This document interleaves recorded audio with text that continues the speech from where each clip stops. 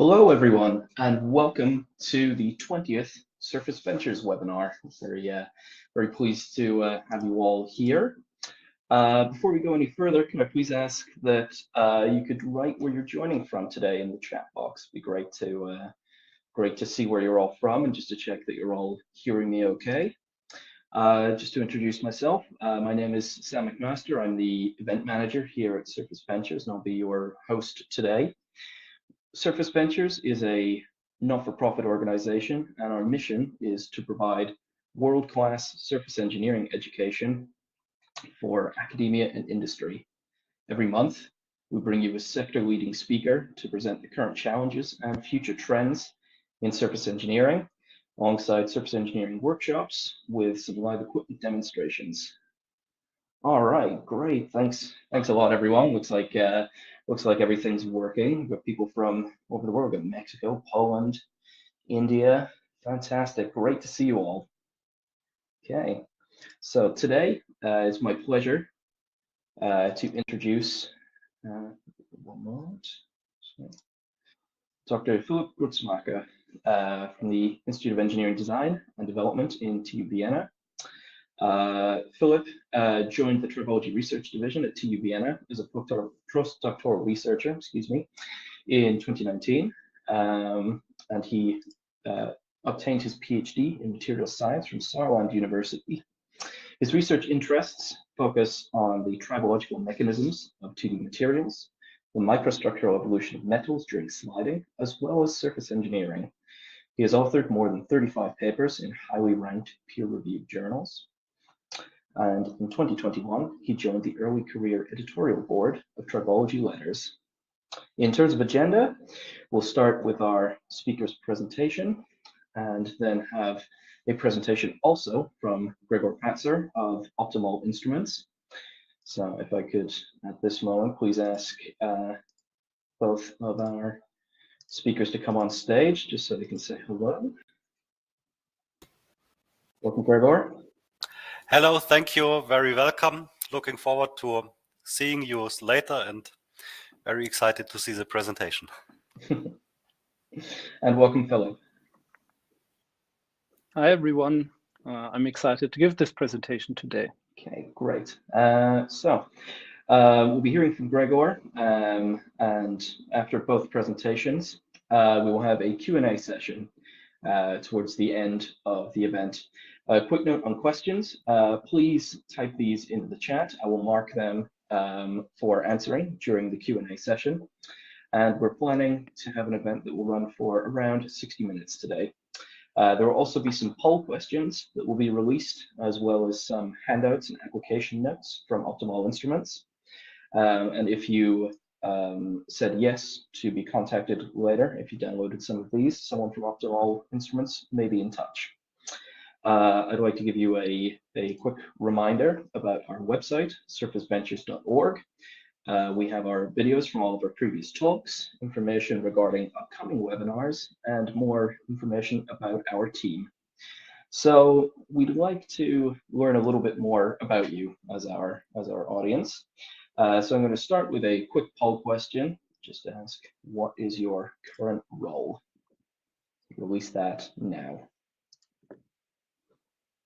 Okay, just uh, wait one moment for some answers to come in.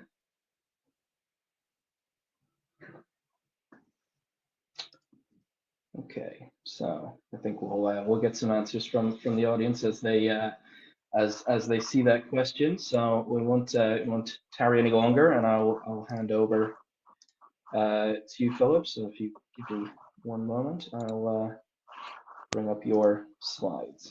So there you go. Thank you. Yeah. Show move stage now. So thank you. Looking forward to hearing this talk. Perfect.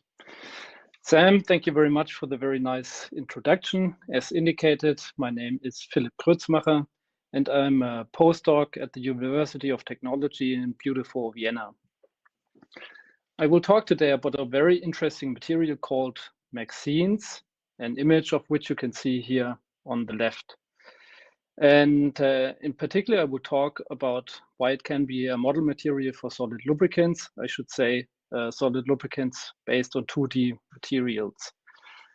Um, in case here people today which are not very familiar with solid lubricants, I will start off my talk with uh, why we even need solid lubricants. Then I will tell you what are MXenes, how they are made, and about their properties, and especially in terms of mechanical and tribological properties, uh, which I am most interested in. Um, yeah, so let's start off why we even need solid lubricants. Typically, lubricants in general are used everywhere where we have surfaces in inter, eh, um, interacting surfaces in relative motion. And these often or typically liquid lubricants are used in uh, applications like bearings, um, pistons, and so on. And then they reduce friction, provide cooling, and prevent damage and corrosion in machines like watches, engines, and uh, even wind turbines. But there are certain problems associated with lubricants, which are that they are usually based on crude oil and are therefore a non-sustainable form of lubrication. Are envi environmental issues related especially to their disposal because they might contain toxic additives.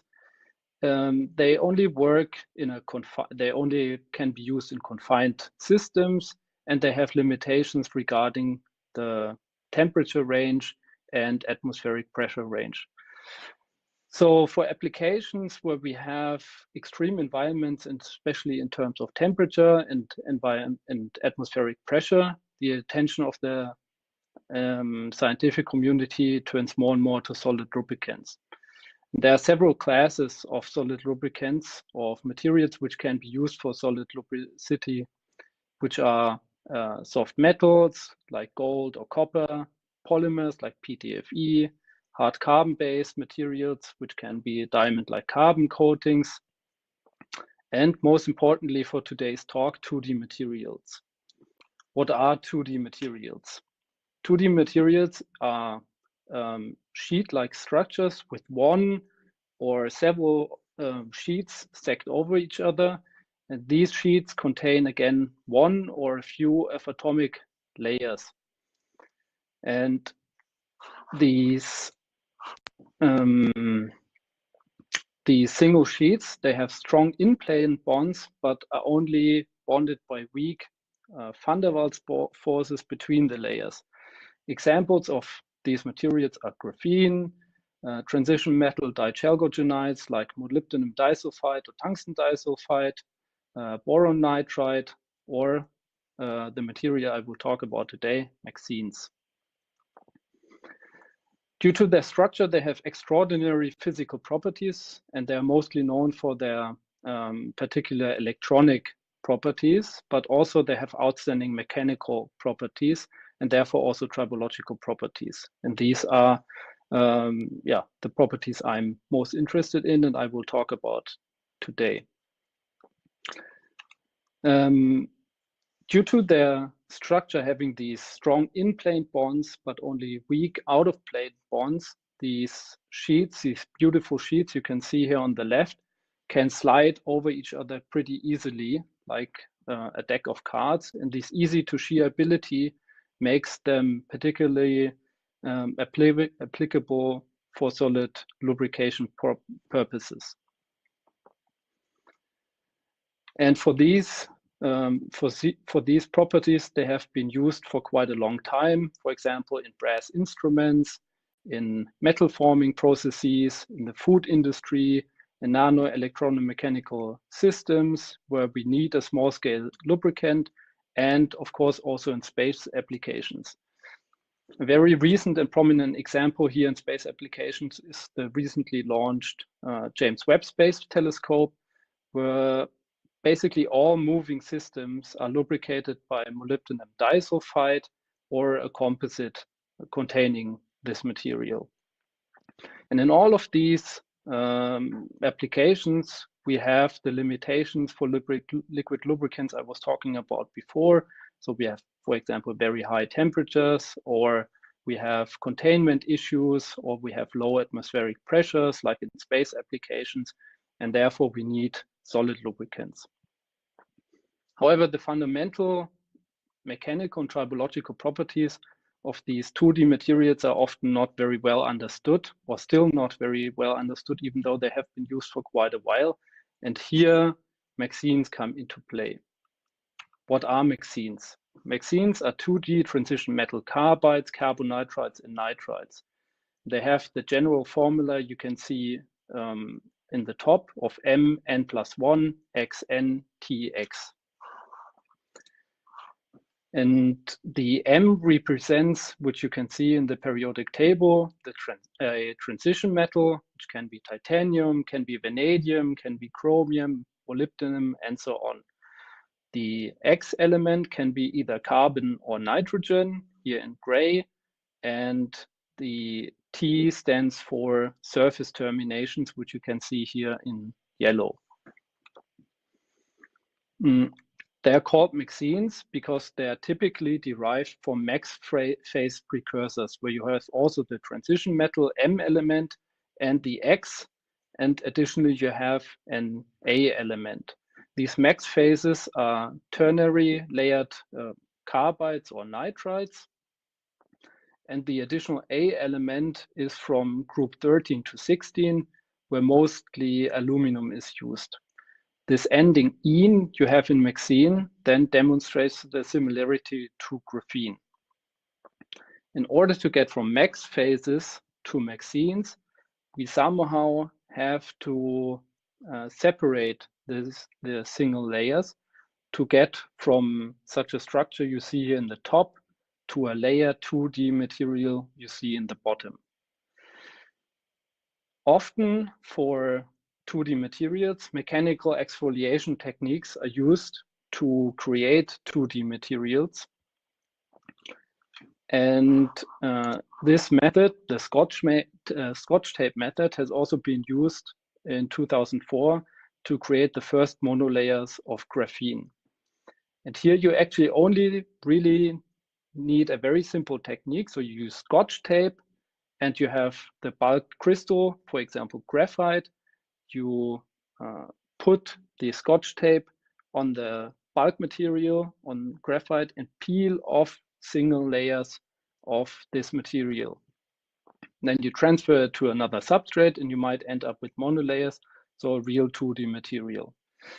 However, in case of MXenes, the bondings here shown is a titanium 3 carbon 2 MXene. the MA bonding, so the bonding between titanium and aluminum is too strong to separate the, the, the layers, the titanium carbide layers, which then make the MXenes by these mechanical processes. But the MA bonds between, for example, titanium and aluminum are much weaker than the uh, bonding between titanium and carbon, and therefore, we can use a chemical process to etch away um, the aluminum and therefore get uh, MXene, a process which is called selective etching.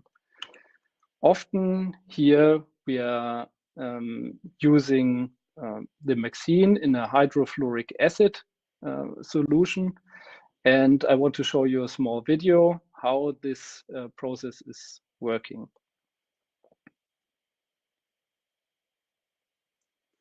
So the MAX phases are mixed with the hydrofluoric acid and due to the weaker bonds between titanium and aluminum, the HFO bonds between titanium and aluminum etches away the aluminum, aluminum and then the link bonds are saturated with surface terminations and the two layers are separated, therefore creating such a layered structures as we see in MXenes.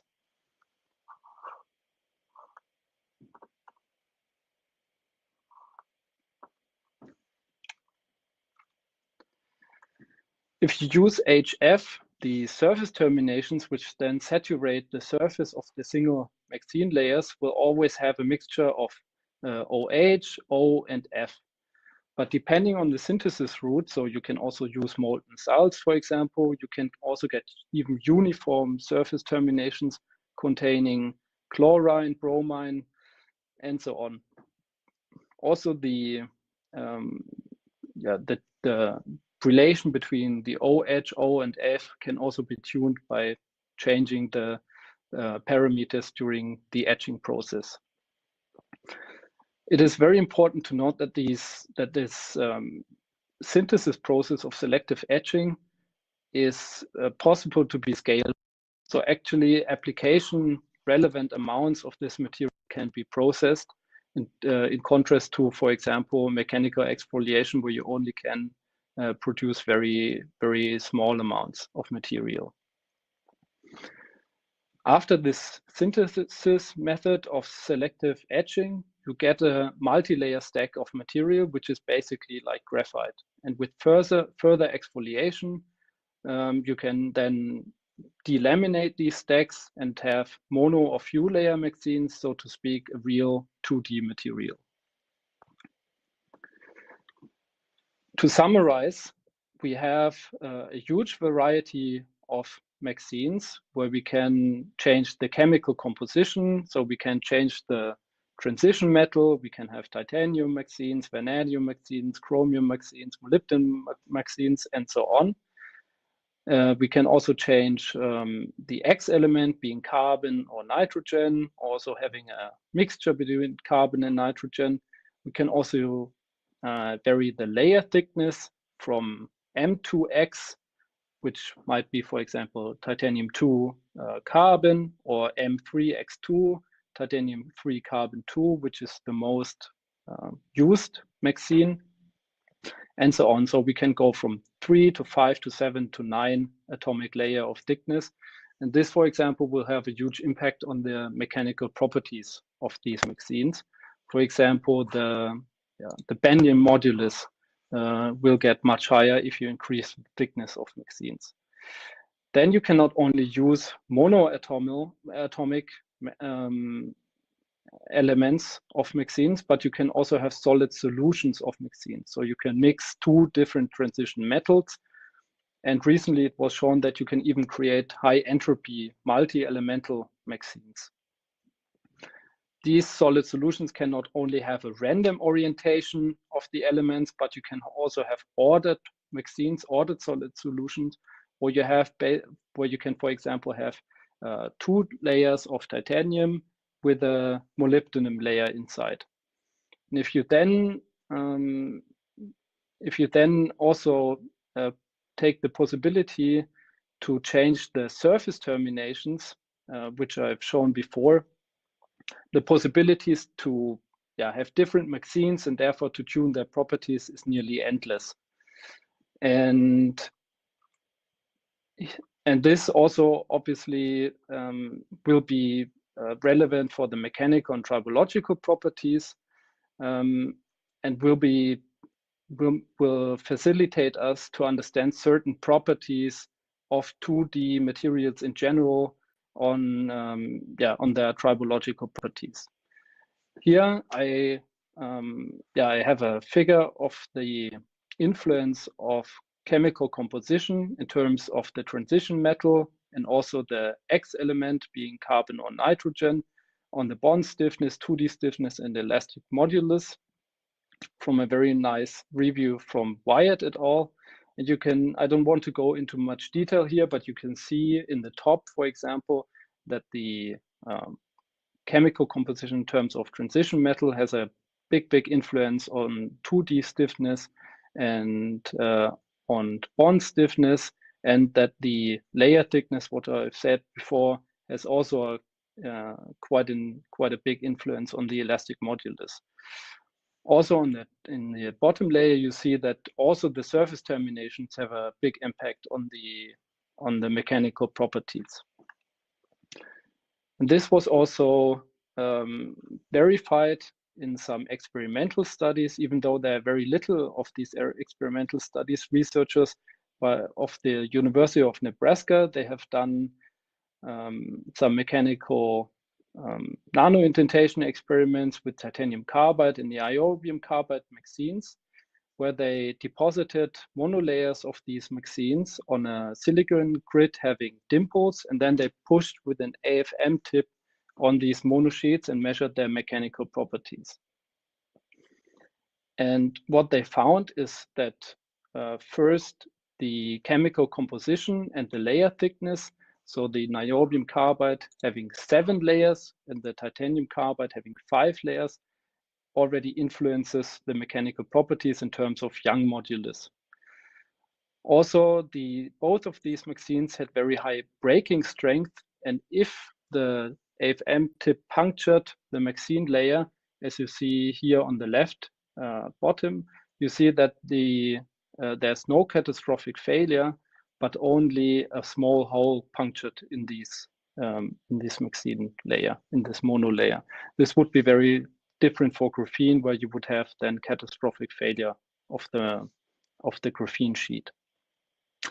If you compare the mechanical properties in terms of Young modulus with other 2D materials, you see that there are basically two materials, graphene and boron nitride, which have much higher Young's modulus, but it has to be said that this is also for perfect crystalline monolayers, which are produced by mechanical exfoliation.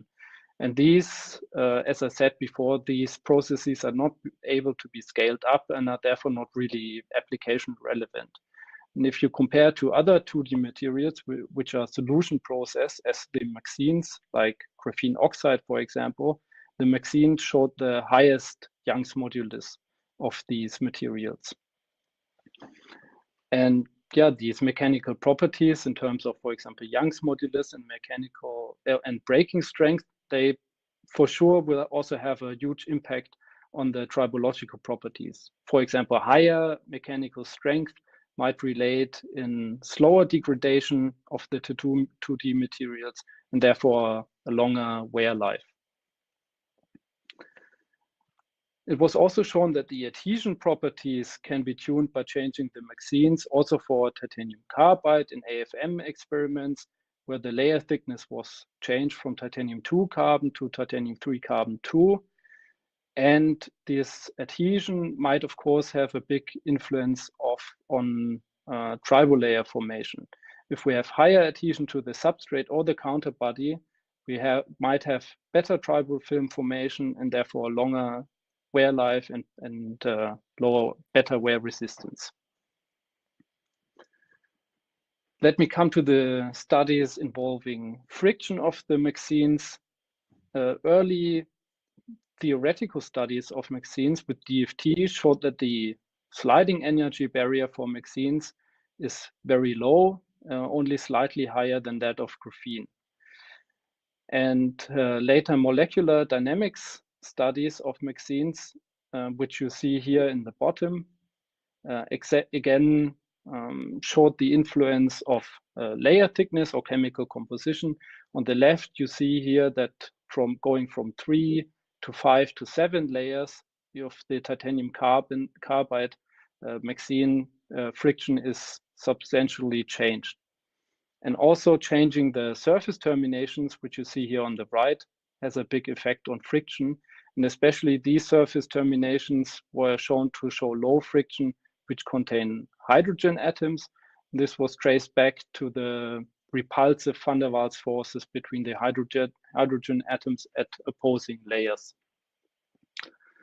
This influence of, um, of surface terminations was also recently uh, verified in an experimental study where the researchers showed um, with AFM that annealing the MXene flakes and therefore reducing the hydroxyl groups, OH groups on the surface reduces friction.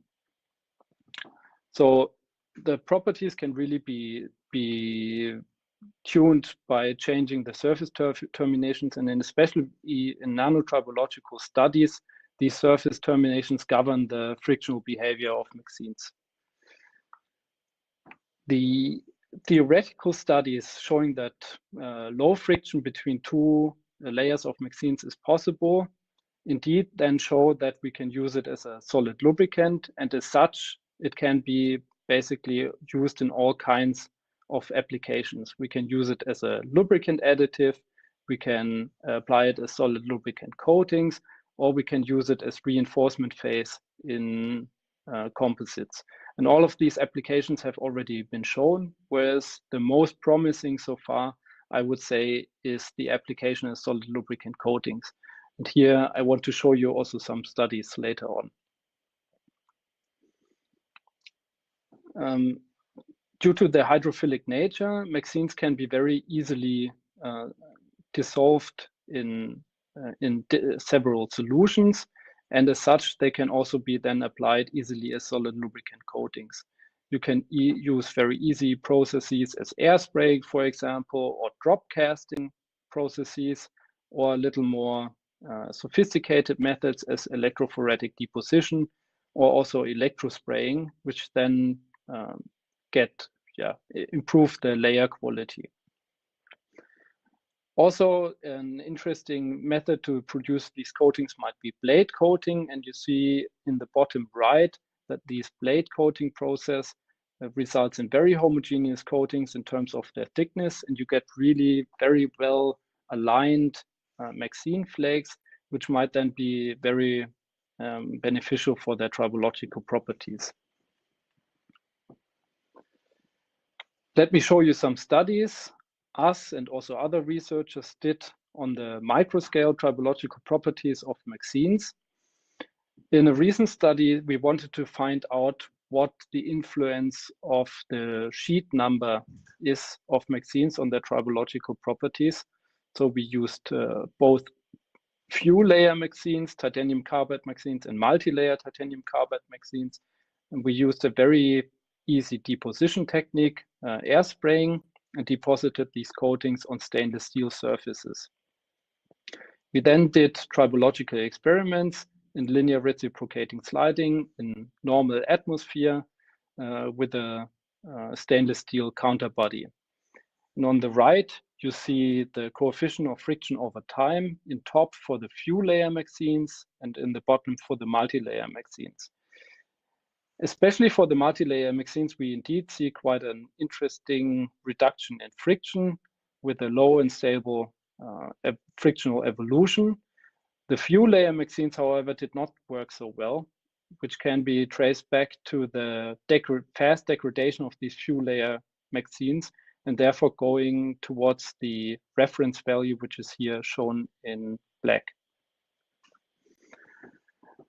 In another study, we used electrospraying to improve the coating quality. As I said, electrospraying can produce very homogeneous coatings and uh, therefore might be able to improve the tribological properties. In these uh, studies, we also measured the long-term tribological performance, again under um, in linear reciprocating sliding in normal atmosphere we used a steel substrate, which was coated with the titanium carbide MXenes and uh, a silicon nitride counterbody. Here we used again multi-layer MXenes, where you can see the very uh, beautiful layers with um, a thickness of roughly one nanometer in the bottom right. Let me come to the results of this study. We see that indeed we have a substantial decrease in friction compared to the uncoated reference surface with a coefficient of friction of roughly 0.01, uh, uh, 0.1, sorry. and, um, and in particular, what is even more relevant that this reduction in friction was still valid after 100,000 sliding cycles, which um, means more or less um, one day of continuous tribological loading. Of course, we wanted to know what is going on in the contact zone. So we looked at the uh, surfaces of the, of the samples after the tests. And here on the left, you see the reference ball and substrate surface. And on the right, the, the surfaces when coated with MXenes. We see that we have a substantial decrease in abrasive wear and also um, these reddish particles you can see on the reference ball surface are probably uh, related to oxidic wear particles, whereas this black transfer layer on the right for the MXene coated surface can be related to a um, transfer of the tribofilm to the counterbody surface. Additionally, you see in the bottom that the microstructural changes underneath the substrate wear track are greatly reduced for the coated surface, and therefore we can say that the that there's much less energy dissipated for these microstructural changes. We also did high resolution characterization, and we saw that uh, this tribofilm on the coated um, surface mainly consists of MXene nanosheets and amorphous and nanocrystalline iron oxides. These MXene nanosheets were, were mainly uh, found in, in the material pileups on the side of the wear track. And what is interesting to note is that these uh, original multi-layer particles were severely degraded. You see in the uh, bottom right that there are only a few layers of MXene nanosheets still, still present. This tells us two things. First, that even a few sheets of MXene nanosheets are still able to significantly reduce friction and still maintain this low coefficient of friction. And second, the that the few layer MXenes I showed you in the study before did not work can probably be related to a severe degradation of these MXene nanosheets. And if you start with only few layer MXenes, this degra degradation is so fast that they cannot tribologically work well anymore. We then came up with a mechanism for this friction reduction, and um, this is as, as follows. If we start the tribological experiment, we have a very fast formation of a tribofilm. This uh, tribofilm is then also transferred to the counter body, thus uh, transforming the initial contact of steel to silicon nitride to a tribofilm tribofilm contact, and the MXenes providing easy to shear ability and therefore low friction. During the experiments, the MXenes, uh, by the oscillating motion of the counterbody, are pushed out of the contact, building MXene reservoirs on the side and the end of the wear track. And they can then, if needed, uh, replenish the, the contact zone with fresh MXenes and therefore um, help to keep friction low. If we compare the, yeah, the tribological performance in terms of coefficient of friction and wear life with other 2D materials or yeah, solid lubricants based on 2D materials, we see that actually friction of the MXenes is nothing special. And especially hybrid materials, for example, containing of uh, graphene and molybdenum disulfide can have much, much lower friction. But the problem is that they quickly wear off, whereas the MXenes outperform all of these state-of-the-art 2D solid lubricant coatings in terms of the normalized wear, wear life. Normalized by the normal pressure and also the thickness. Normalizing by the thickness is important because there are studies which use maybe only mono layers of MXenes, uh, of, of solid lubricants, and other studies which use very thick coatings. If you then uh, optimize the atmosphere or the experimental conditions in which you uh, use the, the MXenes as solid lubricants, you can also see very low friction as shown by a study of uh, the group of Vadym Mochalin. They used a nitrogen atmosphere and a diamond-like carbon coated ball. And they also used the titanium carbide MXenes, and they indeed observed super lubricity, very, very low friction, with a coefficient of friction below uh, 0.01. If they, um, this even outperformed graphene, having graphene didn't show super lubricity, but the titanium carbon carbide MXenes did. If they then also build a hybrid material of the titanium carbide MXene and the graphene, they even reduced friction further and also showed um, yeah, higher higher wear life um, without any substantial increase in friction. MXenes can not only be used in laboratory environment, but as shown by a good friend of mine who is also in the audience today, hello Max, um, they can also be used already in or have been shown to have beneficial properties in real applications, uh, for example, thrust ball bearings. And as these experiments will run under normal atmosphere, as also the uh, experiments of our group I showed you before, they basically showed similar properties. In terms of uh, wear, they had very interesting properties, um, greatly improving the surface uh, service life of these bearings and also outperforming other solid lubricant coatings in this respect. For example, also molybdenum disulfide coated bearings. In terms of friction, as you see in these uh, bar diagrams, they are not, they weren't really interesting.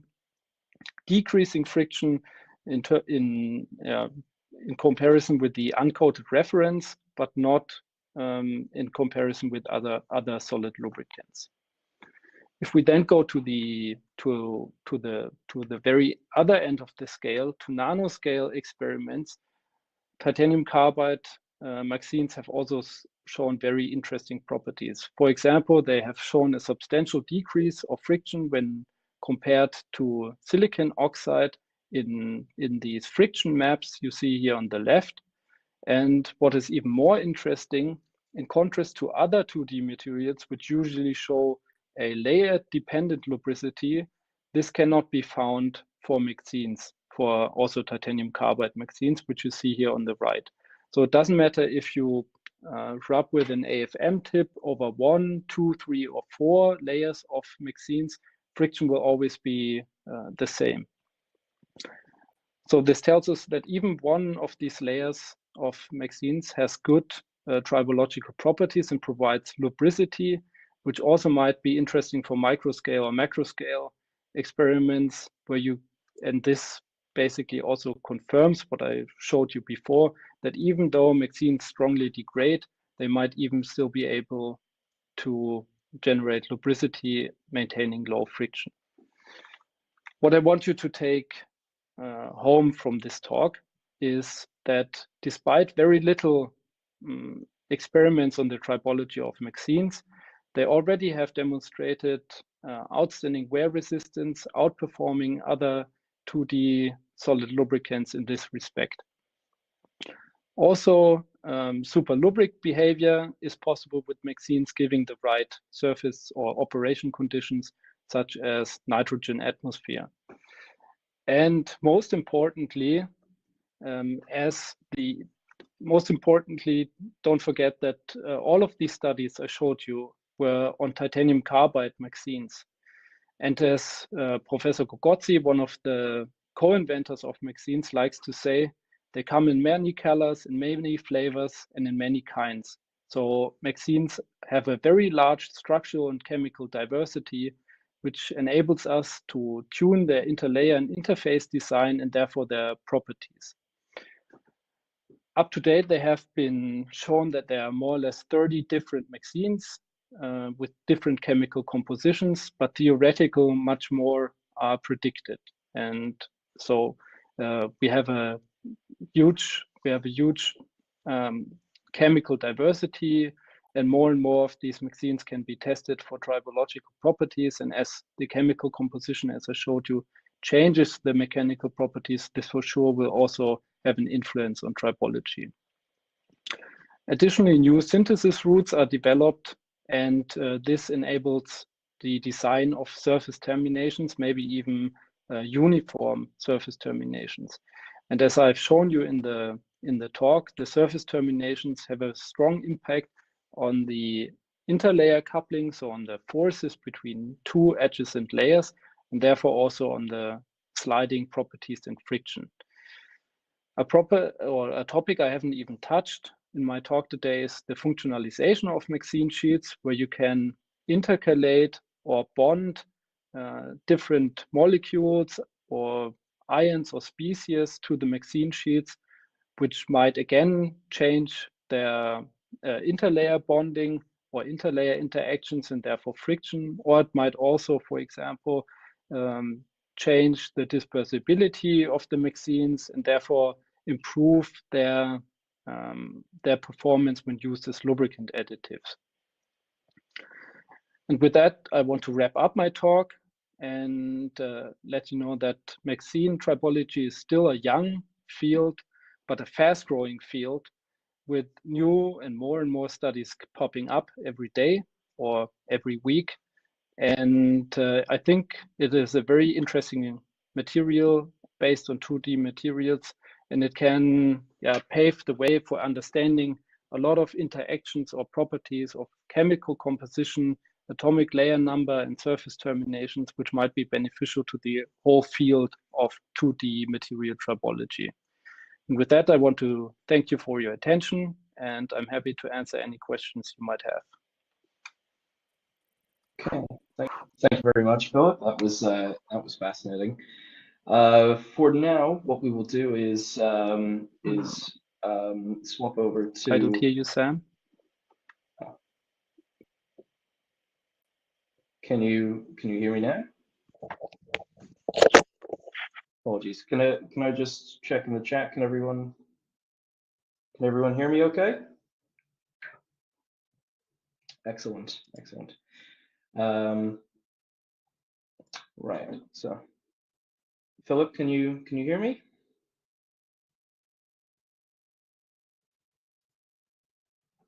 Um, okay, a small small audio glitch. Everyone, apologies. Um, Philip, if you could um, if you could um, reload your web browser, please. You, um,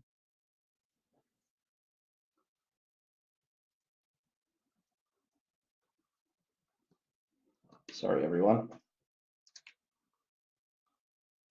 Um, so for now, what we will do is uh, to ask um, Gregor to uh, to come on stage, and we and we'll be having um, a video and presentation from Optimol Instruments. So just uh, there you go. Welcome, welcome back, Gregor. Let me just check that uh, Philip's audio is okay before we proceed. Can you hear me? Okay. Yes, I hear you. Okay, excellent, excellent. Sorry, uh, apologies for the audio glitch, everyone. Um, so, uh, sorry, for, for now, what we'll do is we'll uh, move over to Gregor, who will be showing a, uh, we have a video and a presentation from him, and then we will address any questions on your talk and also on, on anything that, uh, that uh, Gregor speaks on in this next section. So, um, for right now, um, Gregor, would you like to start with the video and then I'll bring up your slides? Yes, please. And I'm so uh, happy and um, yeah, interestingly, uh, this topic was very great and very impressive. Thank you, Dr. Uh, Grützmacher, for this. And um, those results would have also been able to be produced on one of our tribometers. And this is very great. And I could uh, a good um, step over to our presentation. So um, Samuel, please, if you can start the video and then I will uh, present my slides. We'll do. Start that now.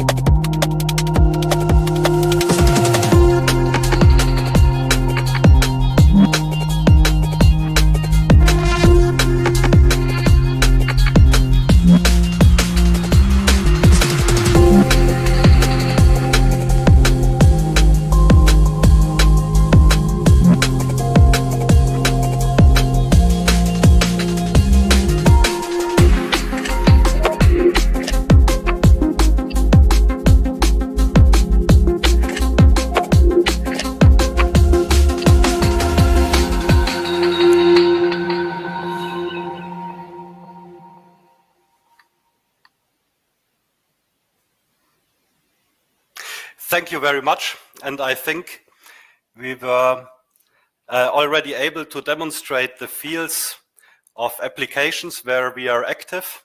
and as I already mentioned before, or um, yeah, tried to mention before, um, our topic is tribo testing, friction and wear testing. I saw also in the polls that um, many of you are from mechanical engineering and are doing or um, yeah are producing the results on model tribometers and mechanical test rigs. More than 19% all in all. And um, that's the perfect interface to my slides because we are the specialists in uh, mechanical simulating of tribological problems at Optimol. Um, if you can go to the next slide, or can I move by myself? Ah, I can move, sorry. Um, yes, Optimol Instruments has more than 50 years of uh, history with our products for measuring friction and wear. We are placed in Munich, Germany. Fortunately, the Oktoberfest will happen end of this year, so everybody is invited, of course, to visit us and to have a look at our products in autumn, of course, earlier as well, but autumn is a good connection with Oktoberfest. Uh, we are a small and very international and interdisciplinary team.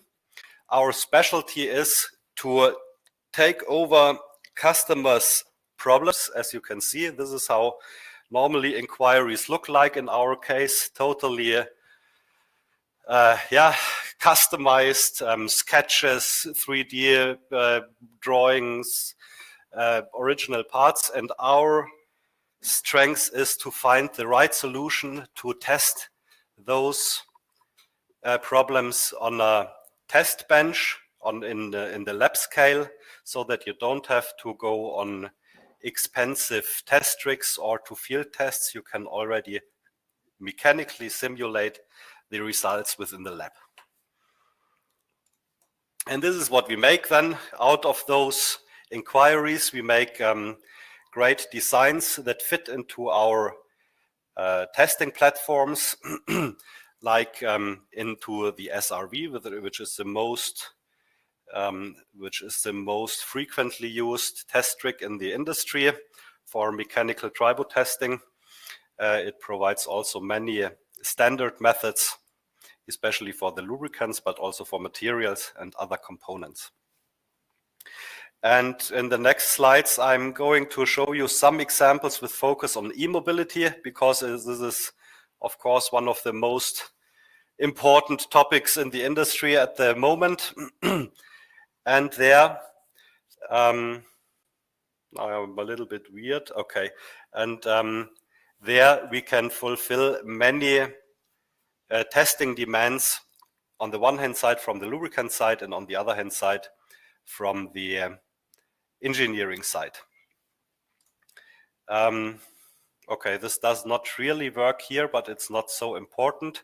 Um, with regards to the lubricant side, we can, um, for example, test uh, uh, gear um, gear lubricants with original clutch materials in uh, rotating systems to predict the frictional performance of those gear lubricants. The gear lubricants, transmission fluids have the characteristics that they are not um, required to have low friction but very stable friction. And this is what you can see in this example. The speed for speed um, varies. This is the purple step uh, step line here, but the friction represented in um, light red remains stable. And this is what we can test on our test rig and predict then the frictional performance over different sliding speeds, for example. Another example is um, um, tests in uh, the SRV with the oscillatory movement, also clutch linings in coexistency with um, transmission fluids, where we can exactly um, measure the frictional response under varying sliding speeds.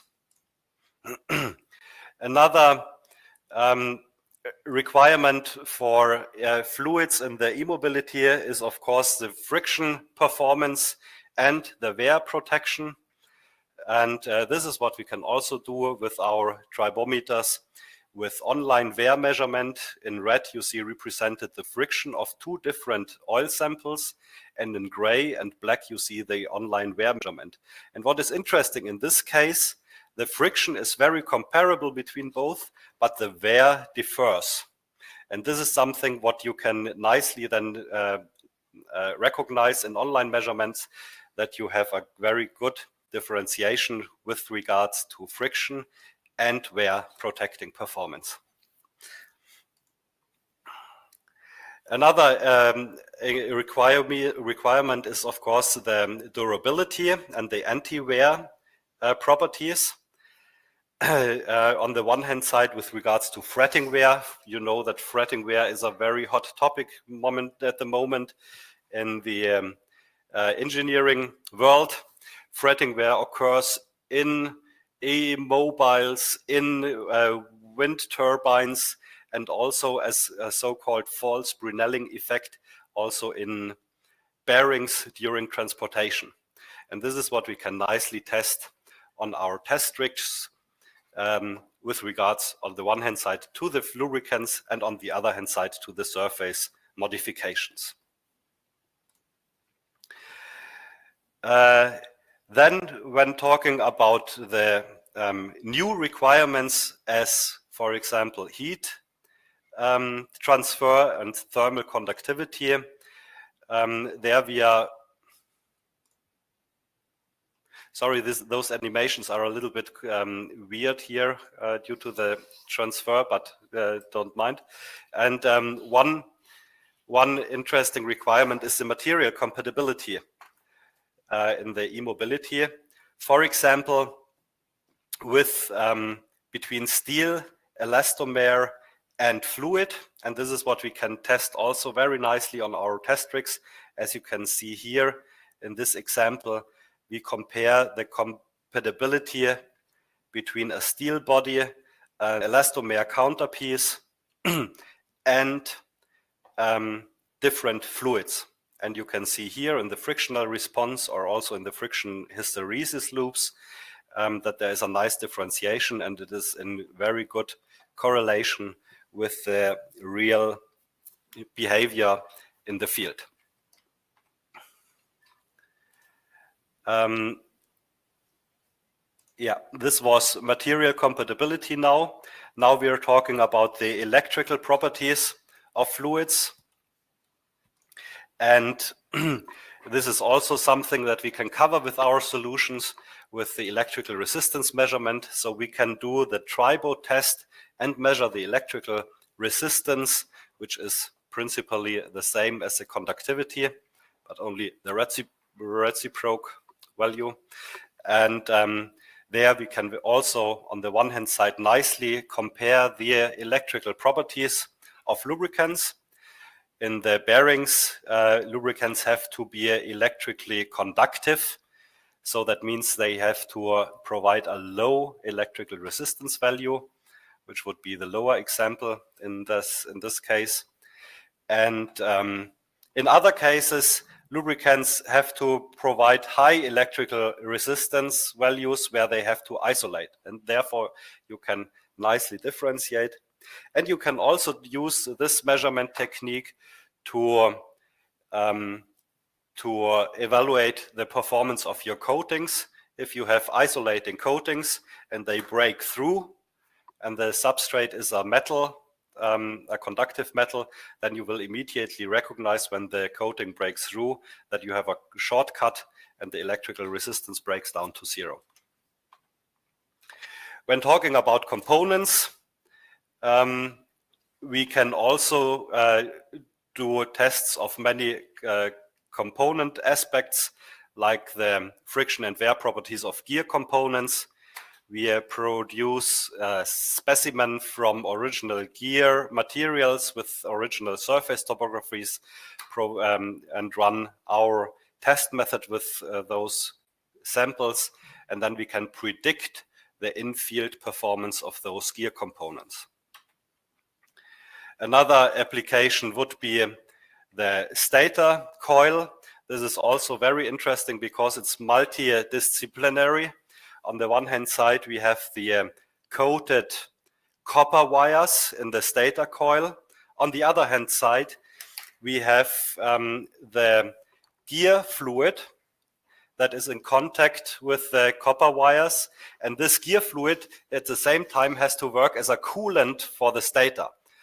And uh, this makes it very interesting with regards to chemistry and comparability, compatibility between those uh, systems. And this is what we can nicely test within the SRV with our special setup for the hairpin wires. Talking about friction linings, I just mentioned before when, when I talked about um, transmission fluids. On the other hand side, if you keep the friction lining constant, then you can, of course, um, also evaluate the performance of friction linings or as well as um, the materials for brake pads, which is also a very interesting topic when talking about fine dust and um, the pollution of brake dust into the air. when talking about um, the brake system it's, uh, itself, oh, sorry, um, this um, uh, I wanted to mention that in the brake system we also have uh, hydraulic components. There we have material compatibility, acoustic emissions, stick slip effects that can be covered. And last but not least, a very interesting new topic is the heat transfer paste that cause wear during the application to the to the accumulator, not during the uh, service in the car, but in the production process. They those heat transfer pastes cause wear on the um, uh, nozzles that apply the paste to the uh, accumulator, and this is something which which we can also test very nicely on our tribometers. With this, I'm concluding my short presentation. You have all our contact data, and I see that many of you downloaded our brochures in the handout area. And um, so I wish you fun in reading those brochures. And of course, we will be very happy uh, to answer your questions bilaterally at um, my email address. You see it here, gregor.petzer at optimol-instruments.de. Thank you very much. And thank you, Dr. Grützmacher, again for your very interesting presentation. And Samuel Surface Ventures for hosting us today. Thank you. Thanks, Gregor. So we'll um, we'll answer the questions that we uh, we have now. I've just brought up a link um, to find out more about Optimol Instruments uh, friction tester. So please go ahead and, and click that if uh, this is of interest to you. So we've got, I believe, six questions. Uh, so we have one from Chandra here, um, one for you, uh, Philip, I believe. Uh, can we call MAX phase a 2D material? Um, Maxes also have a layered structure. Um, is my is my audio fine? Yes, okay. I can hear you. Because I'm not using the headphones now, so I was I wasn't sure. Uh, first of all, thank you, Gregor, for the nice words. I'm glad you liked the the the talk and the introduction of MXenes as a solid lubricant material. Regarding the question as 2D material of um, of MAX phase, MAX phases are not a 2D material. As I as I told you, the it has a layered structure, and this is basically the building block for MXenes, but the bonding between um, the, for example, aluminum, so the A element layer, and the uh, transition metal, for example, titanium, is a strong bonding, so you will always have um, a bulk material of MAX phase, and you will not have these layers which can easily slide over each other so no, it's not a 2D material. Um, as you have chemical bonding there, um, all of these yeah, properties you usually see in 2D materials you will not see for MAX phase. Okay, thank you. we have another question here um, from Muhammad, and we had uh, another question very similar to it. I think just to ask about um, surface modifications of MXenes, um, I believe bipolymers or on polymers. Um, could you tell us a little bit about that, please? I think, yeah, so what, um, what Mohammed there means is that um, you can also, I mean, as I, as I said in the uh, final slides of the, of the talk, you can intercalate the um, yeah, the MXenes as you have this layered structure. Then if you, yeah, then if you increase the distance between two layers, you can also intercalate certain molecules or ions. And these molecules Mhm. might also be of polymeric material.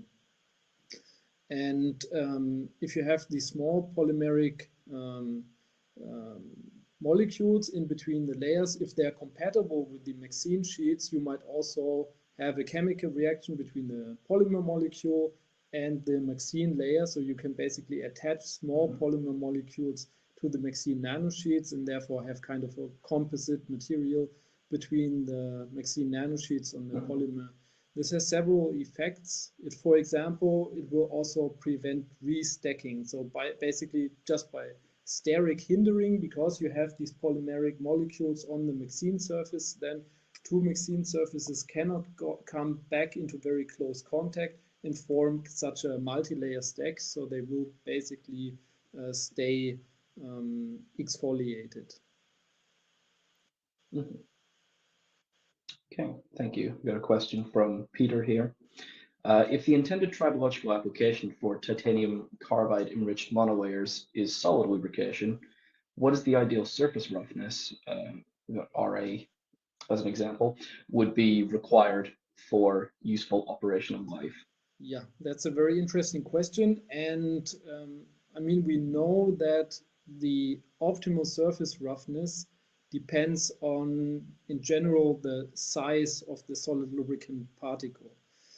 And MXenes, depending on the quality, they can have a lateral dimensions of, let's say, a few hundred nanometers or maybe even less, up to 10 or 20 micrometers even. So, I mean, the this difference is huge. There is so far not a tribological study about this, but of course, when you change the flake size going from nanometer size to tens of micrometers, then also the optimal surface roughness um, will be different. If you think about, for example, very small um, MXene particles with a large surface roughness, then they can basically yeah, fall into the surface asperities and not be able to come to the contact surface anymore. And there, um, I would say that bigger MXene particles um, are better. So I think in general that um, yeah, having a pretty smooth surface might be good in particular in particular for small MXene particles to have a yeah, good service life. Mhm. Thanks. We have a question here on what about high temperature applications for MXenes? Um, so far, there is not, um, there's no study about high temperature uh, applications in terms of tribological properties of MXenes. But of course, as they are um, bonding wise between the yeah, M and X element, they're pretty stable. They might be definitely interesting for um, for high temperature applications. Um, and as thus, for example, also be used in metal processing applications. Usually we see uh, oxidation of MXenes starting from, let's say, 400, 450 degrees Celsius. And uh, up to these temperatures, they are pretty stable. So I would say that uh, at least up to these temperatures, you can you should be able to safely use them as a solid lubricant. Okay, thanks. Uh, I got another question here from Mohammed asking, can we use MXenes as a membrane to filter heavy metals from fuel and water? Um, I'm not an expert about this, but definitely a very, very big field of application of uh, MXenes is as um, as um, as filters for water purification. So um, definitely this is uh, being used, but um, probably not as a filter, but rather in um, in um, electrocatalytic processes. Okay. Thanks. I have a question here, I, I think um, relating to Gregor's uh, presentation. However, I think he's had to uh, he said to, to leave the event, just asking what are the different part names present in electric vehicles which have tribological importance? Uh, what are the methods involved to reduce friction, like DLC coatings? Um, that's a very we could we could talk about that for a very long time. But I mean, this is I mean, uh, um, I mean we can still talk about you know brake pads, of course, is as hugely important. Um, uh, any of the any bearings in there, um, drivetrain and powertrain um, is extremely important, of course. Um, there's a few other things to consider with that, as Gregor talked about, um, in terms of electrical conductivity of um, any lubricants present. Um, coatings are one method with this, uh, DLC coatings. Um, various uh, other surface engineering methods, such as you know various hardening methods, nitriding, um, or carburizing is also quite um, uh, quite popular for automotive applications. So that's like, if you have anything else to, to add, Philip, but I, I think that's there's there's a, we could go on and on about this. This could be its own its own talk, so I don't want to to, to go on too much. Uh, so I'll leave leave that one there.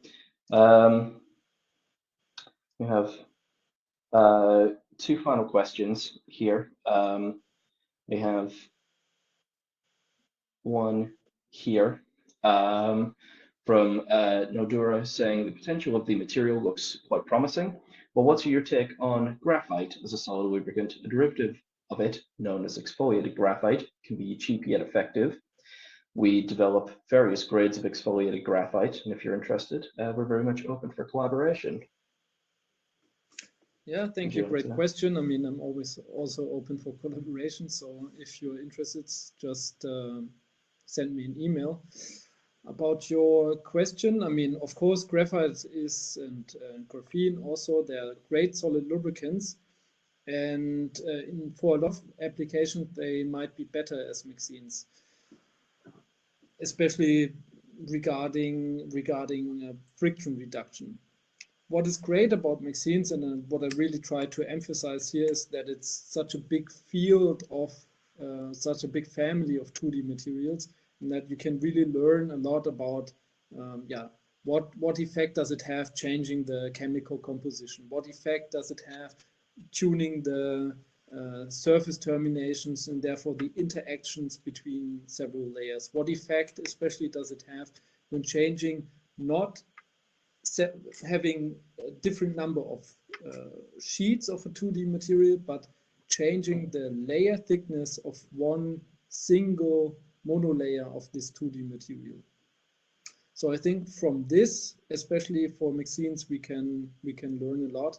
And here's where MXenes are really great. Whereas as graphite, I mean, of course, you can have uh, graphene oxide, you can you can have uh, different um, uh, graphites with different surface defects and so on, but simply the realm of changing its um, its mechanical properties by changing chemical composition and so on is not so big as with MXenes.